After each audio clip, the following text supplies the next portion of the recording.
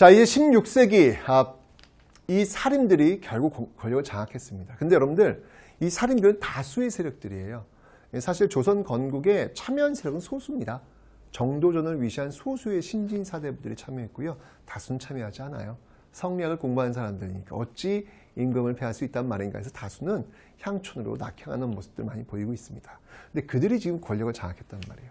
이 다수의 세력들이 권력을 장악하면서 관직 수는 정해져 있는데 굉장히 많은 사람들이 지금 그 자리를 차지하려고 합니다. 이러면 어떤 일이 벌어질까요? 결국은 무리지어 무리지어 무리지어 이게 팀을 나눌 수밖에 없는 거예요. 자 이러면서 만들어진 게 바로 이 붕당이라는 겁니다. 법붕자예요. 서로 뜻이 비슷한 사람들끼리 당을 형성하고 있는 모습들이 있는데 그 붕당이 형성된 시점 예, 이 아, 살인들이 권력을 장악하고 이 붕당이 형성된 시점이 어느 왕 때냐면 바로 선조 때입니다. 선조 때. 선조 때. 아, 살인이 집권하는 어떤 그런 시점 그리고 붕당이 형성된 시점이 바로 선조 때. 여러분 선조하면 알죠? 임진왜란, 이순신 선조, 뭐고 임금이 되겠습니다. 자, 근데 이 선조 때 이 붕당이 형성되는데 그 첫 번째 붕당이 이렇게 동인당과 서인당으로 나뉘어집니다. 뭐 지금도 여러분들 당 당들이 있잖아요. 지금도 그죠? 뭐 민주당도 있고 뭐 여러 뭐 한국당도 있고 있잖아요. 이렇게 당들이 이렇게 나눠지는 거예요. 동인당, 서인당 이렇게 나눠지는 거예요. 어, 나눠지는데 어, 이게 나눠지 왜 왜 이름이 그 동인당이고 왜 서인당일까? 네, 뭐 대단한 이유는 없고요. 이 동인당을 이끌고 있었던 인물이 누구였냐면 김효원이라는 인물이에요. 김효원. 그리고 이 서인당 시옷시옷 이끌고 있었던 인물이 누구냐면 심의겸이라는 인물이에요. 그런데 음. 이 김효원이 살고 있었던 집이 서울에서 동쪽에 있었고 그다음에 서인 심의겸이 이끌고 살고 있는 집이 서쪽에 있어가지고 그렇게 동인당, 서인당 이렇게 부른 겁니다. 실제로 우리 그 정치 현대 정치사에서도 김대중, 김영삼 그 시절 때 이 김대중을 따르고 있는 사람들을 동교동 세력이라 그랬어요. 네, 그 다음에 김영삼을 따르고 있는 세력들을 우리는 상도동 세력이라 그랬어요. 왜?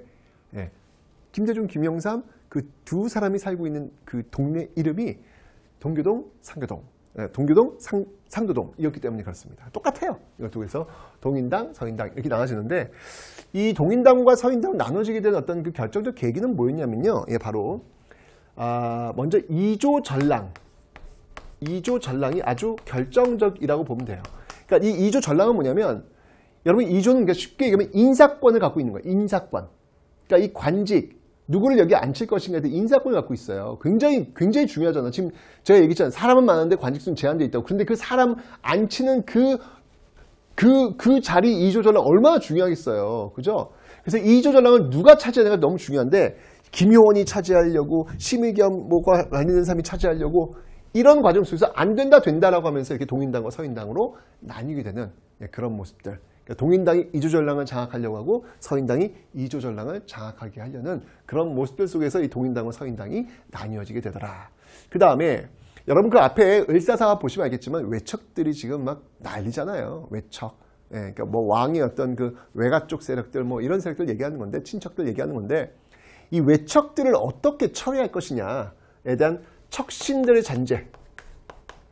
이 척신들의 어떤 그 청산. 내 어떤 방법. 이쪽 동인당은 확실하게 뿌리 뽑자. 반면에 서인당은 아, 정치가 또 그런 게 아닌데 예, 너무 이렇게 과격하게 하면 또 과격하게 당하는 법이지 라고 하면 좀 지향하는 어떤 그런 모습들 뭐 그런 것들 때문에도 이렇게 나뉘게 되는 모습들도 있습니다. 자 어쨌건 이렇게 출발했던 이 붕당의 역사를 한번 그, 그 계보를 한번 좀 다시 한번 좀 살펴볼게요. 자 먼저 여러분들 이게 정몽주부터 출발한다고 제가 설명드렸죠. 예, 정몽주 향촌 낙향 그 출발이 바로 정몽주였습니다. 이게 이제 길제 예, 김숙자로 연결이 돼요. 길제와 예, 김숙자로 연결이 될 겁니다. 길제와 예, 김숙자로 아, 이렇게 연결이 될 겁니다. 자, 그런데 이 김숙자에서 연결되는 인물이 누구냐면 이제 여러분들 익히 잘 아시는 인물이 등장하니 예, 그 인물이 누구냐면 바로 바로 바로 바로 여러분들 잘 알고 있죠? 바로 김종직이라는 인물이에요. 어, 가만히 있어 봐. 김종직 어디 들어봤는데? 어디서 들어봤지? 어디서 들어봤지 여러분들?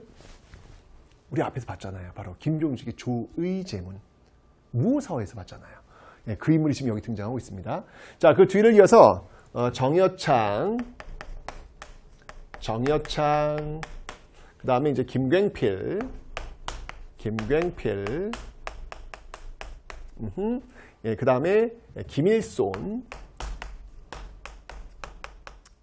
이런 인물 등장합니다. 아, 등장하는데 여러분 잘 알겠지만 이 김종직과 김일손 요렇게 다 살인들이에요 지금. 이 사람 살인들이에요.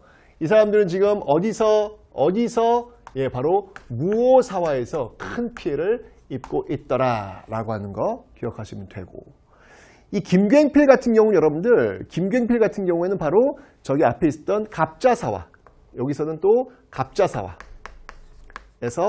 또 큰 피해를 예, 입고 있습니다. 이렇게 가면 되고요. 그 다음에 또 김경필 뒤에 나오는 사람이 있습니다. 바로 이현적. 이현적, 그 다음에 서경덕.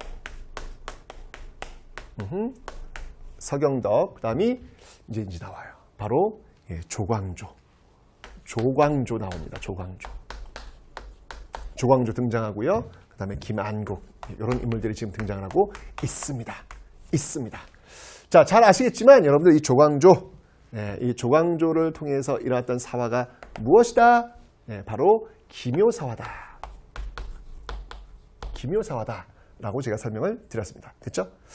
자, 바로 이제 이 뒤를 이어가지고 어떤 사람들이 또 나오냐면 조식. 네, 여러분들 이런 이름들은 다 외울 필요 없어요. 그냥 이 틀이 바로 살인들의 분화 과정이다라는 것만 보시면 돼요. 네, 이황. 어, 이황 등장합니다, 여러분들. 예, 그 다음에 율곡 이이 등장합니다. 율곡 이이 등장합니다. 그리고 성원 등장합니다. 음, 이런 인물들이 등장하고 있는 거예요. 자, 그런데 어, 이렇게 놓고 볼 때 바로 이 조식, 조식, 이황 요 계열들 있잖아요. 요 계열들 조식, 서경덕, 이황 요쪽 계열들. 그러니까 요쪽 이 조식, 이황 요쪽 계열들을 우리는 동인당이다라고 이야기합니다. 요쪽 계열을 우리는 네, 동인당이다. 이렇게 나옵니다. 이렇게 해서 이렇게 해서 네, 이들을 우리는 동인당 이라 이야기하고요. 그 다음에 자 이이 성원 네 이렇게 묶어서 한번 볼까요? 이렇게 이이 성원 자 이쪽을 우리는 묶어서 우리는 이들을 서인당이다 음, 라고 이야기를 해요.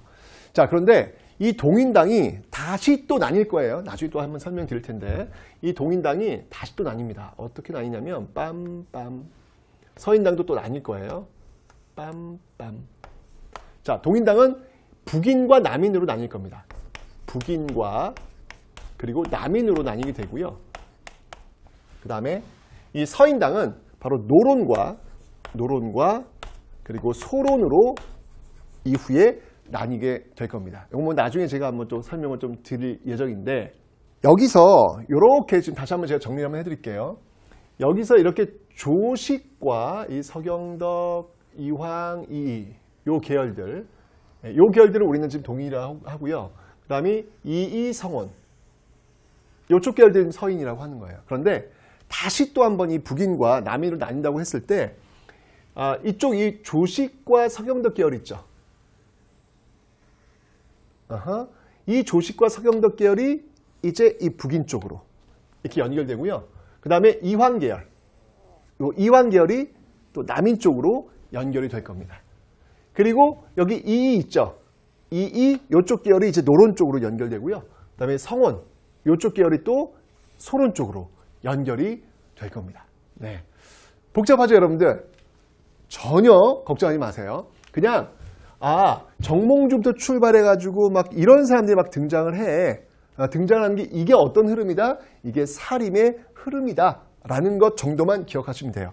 이 분화 과정은 제가 나중에 설명을 드릴 거고요. 어쨌든 이 동인당과 서인당, 처음으로 이렇게 붕당이 나뉘어지는 모습들, 이 정도만 여러분들 좀 기억을 해 놓으시면 되겠습니다. 자, 이렇게 해서 여러분들, 아, 조선 전기의 정치를 한번 쭉 한번 네, 살펴봤습니다. 아, 조선의 어떤 그 기틀이 잡혀진 어떤 그런 과정들 속에서 아, 지금 15세기가 이제 흘러갔고 15세기 역사 주도 세력이라고 할 수 있는 이 훈구가 결국은 이제 무너지는 모습들 그리고 새로운 세력들 살인들이 권력을 장악하고 어떤 그 붕당을 형성해서 토론 정치를 하는 거예요.